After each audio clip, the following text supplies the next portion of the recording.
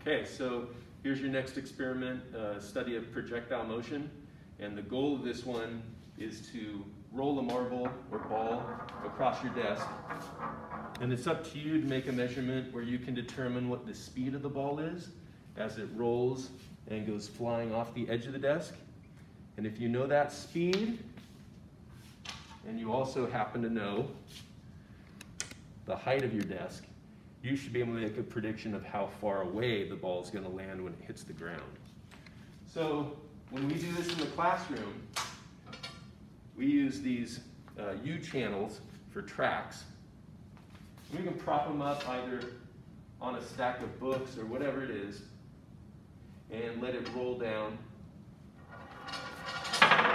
And then we can reproduce a consistent speed as long as we don't bump this track and change the angle or um, certainly we wouldn't want to one time release the ball from only this high and another one this high. If we always maintain the same angle and we always release it from exactly the same height, then the ball should always have a consistent speed. So we can take multiple measurements so we can have a good average in determining exactly what the speed is as it goes off the edge of the desk.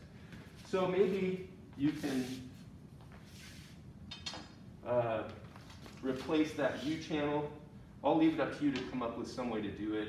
If you have a couple sticks, you can separate them by a little bit and the gap between the two makes a track that the ball can travel down. So that would work just fine. Another um, caution is not to make it too steep. In fact, I probably don't want two books. I think with one book, I'm going to be better off. Now the reason for that, if the marble or the ball goes too fast, um, the time it takes to pass through two points is going to be so short that your reaction time becomes a significant amount of error in the measurement. So we don't want the ball to go so slow that the amount of rolling friction becomes significantly large, but we also don't want it so fast that it's hard to time.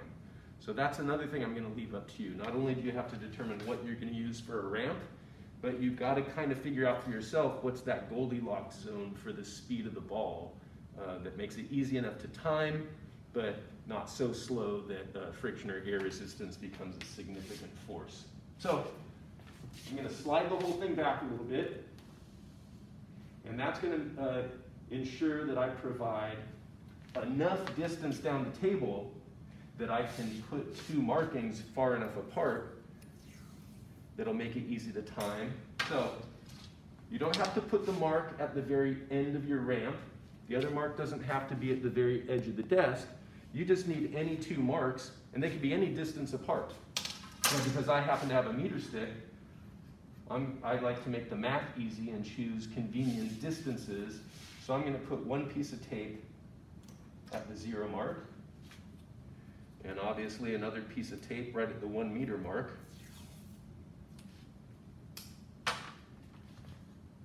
And I'll put the, when I measure it, I'm gonna measure from the middle to the middle of each piece of tape. So that ought to do it. So now I have two markings on my desktop at a known distance. And then I'm gonna reach for my cell phone. And on all of our cell phones, we have a stopwatch function. Let me find where it's at. Oh, perfect. Okay, so sure, you can just use the stopwatch on your phone. And then let the marble go, and you know what to do from here, right? As it rolls, start, stop, and you'll get a time on your stopwatch. You don't have to actually let the ball fly all the way off the ramp, and it's gonna work out better if you can have a partner help you out. Maybe you have a friend roll the ball as you do the timing, or vice versa, you can roll it and your friend can time it, but probably works better with two people. I'll demonstrate it as I do it by myself. Roll it again, again, releasing from the exact same height so the speed is always reproducible. Start, stop, don't have to let it fly. In fact, it's probably better if you catch it before it does go off the desk so that your prediction of where it lands on the ground isn't based on what you've seen, but strictly based on the measurements that you took. Okay, so from there, once you have several measurements of time, you can take the average time. If you divide the distance by that average time, Now you know the speed. If you've used a yardstick or a tape measure to measure the height of the desk, from that height measurement, you can make a prediction of the time that the projectile spends in the air. And if you know that time along with the horizontal speed, you make a prediction of range. At that point, you want to grab a piece of notebook paper.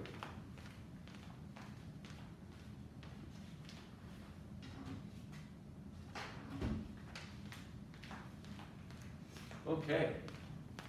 So with your notebook paper, fold it, uh, not like a hot dog, fold your paper like a hamburger.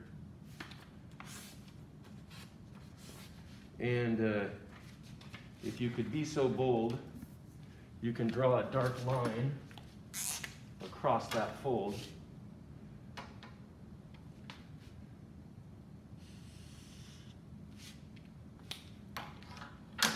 And so we'll consider that line on the paper the target. Now I'm just gonna pretend I've gone through the calculations and I take my tape measure. I've gotta find, using a plumb line, you can hang a string with something heavy off it from the edge of the desk so you know exactly the point directly below the edge of your table and make a mark on the ground from there. And then measure out the predicted distance based on your mathematical calculations, and then put that target line right at your predicted distance. Now it's back to your cell phone. And you want to go into uh, video recording, but in slow motion. And you're going to have your camera in slow-mo, or somebody helping you, point it straight at the target line on the ground, so this is the last time you release it, again, from the same height you used when you were measuring speed. Don't let it bump into the pen sitting on your desk, obviously. And it'll fly through the air and ideally hit right at the target.